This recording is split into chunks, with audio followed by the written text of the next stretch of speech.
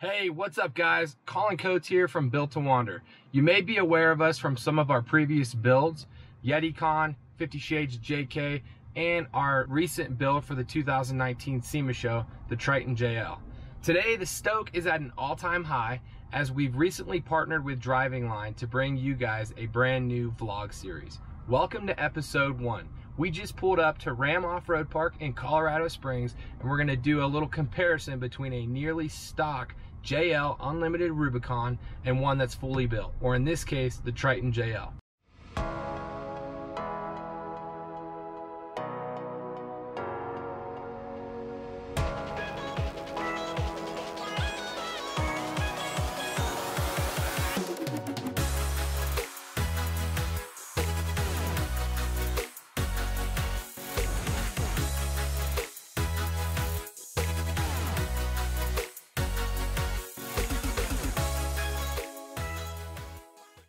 Just pulled up to Ram Off-Road Park, so we're gonna go ahead and open up the gate and start playing around on some uh, some different trails and some different obstacles.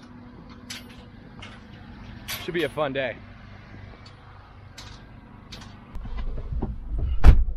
All right, let's do this.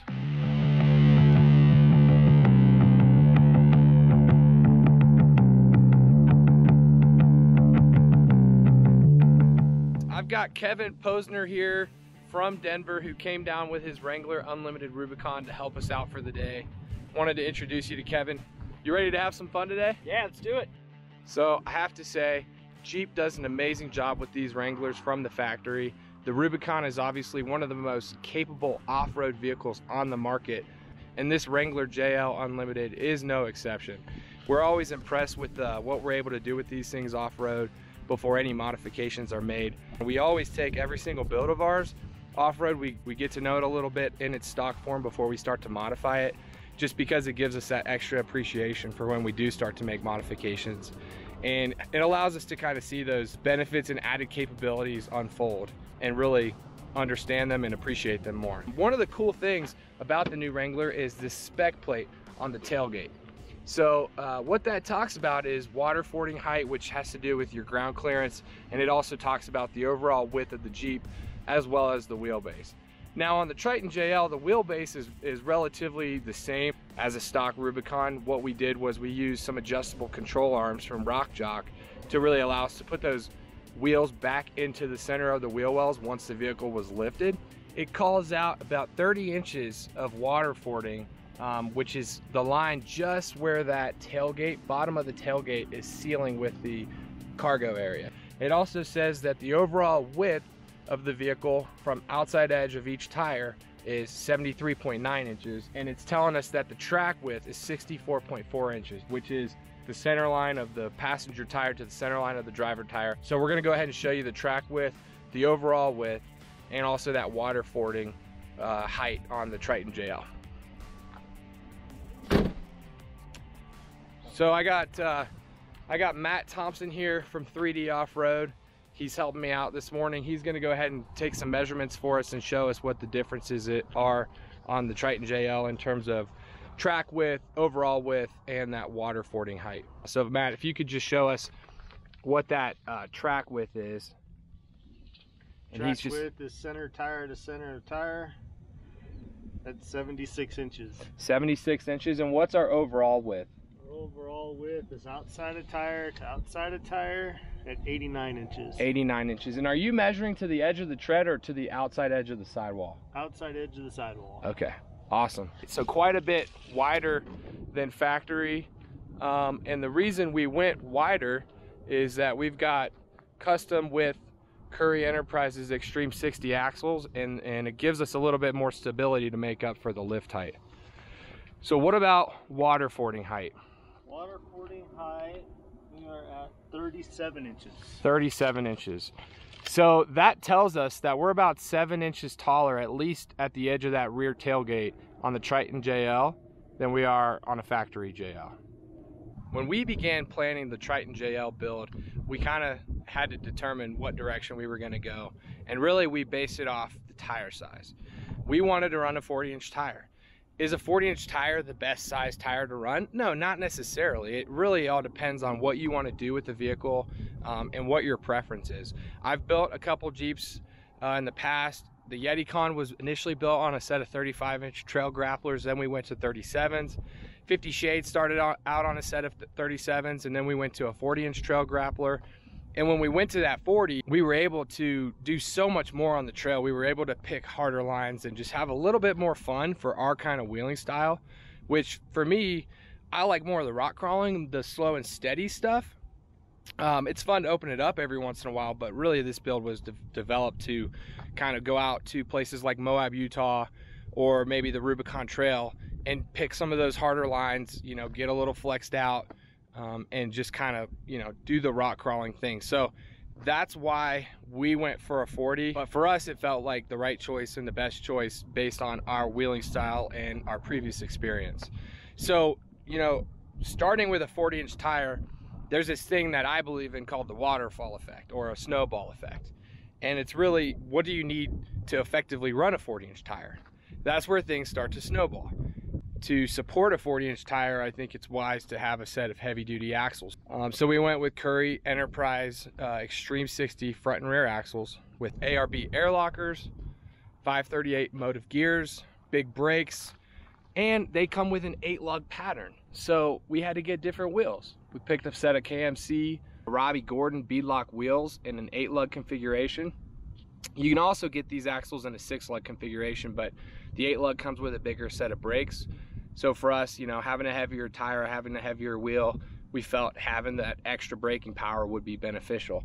Uh, but not only do you need a heavier duty axle, now you need a heavier duty drive shaft. So we've got 1350 series Adams drive shafts in the front and rear.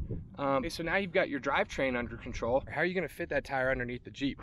Well, you need to have some different suspension. So we went with uh, a custom setup from Rebel Off-Road, Recon dual suspension setup in the front, and their standard Recon coil over in the rear, which gives us about four and a half, five inches of lift. Plenty of room to stuff those 40 inch tires and cycle the suspension correctly. And we paired it with a set of Rock Jock long arms.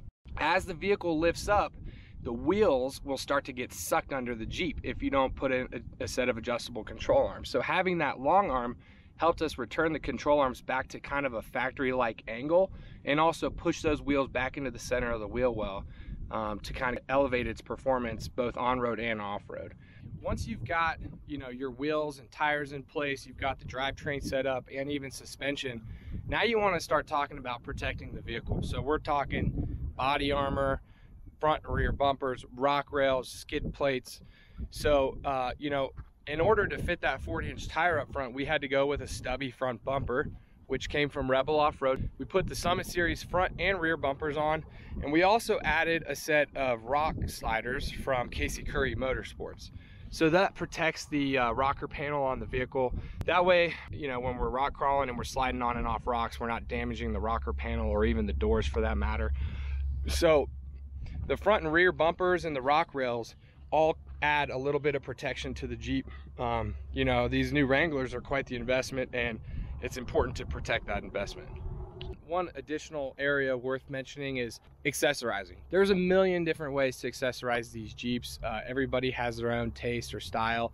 Um, we tried to keep it pretty simple. We added a Warn winch up front with some Factor 55 recovery gear, as well as some Baja Designs lighting that we integrated throughout the whole build. So we went with a set of squadrons, up on the A-pillar and the Squadron Sports in the bumper. As fogs, we've got some LP6s on the bumper. We integrated uh, rock lights on all four corners and we also did a set of Squadron Sports in the rear so that when we're camping or getting into the tailgate, we can kind of illuminate our campsite or, or you know, be able to see what we're doing at night. So we're gonna go ahead and show each Jeep going up a series, up and down a series of obstacles, maybe doing a little bit of rock crawling to really show you the difference in capability of each vehicle and why, um, you know, some of those modifications can make quite a bit of difference on the trail.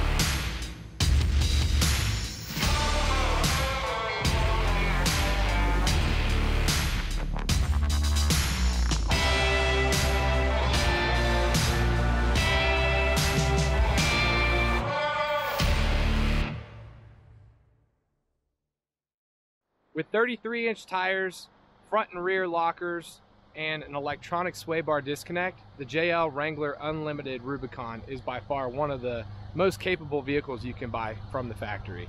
Um, as we shown today, uh, it is quite capable and, and with a couple modifications, um, in this case a couple major ones, um, it's amazing what you can get these vehicles to do. Thanks for checking out today's video guys. If you have any questions or comments, drop us a note below. Hit the like button if you did and subscribe if you haven't. Wander on.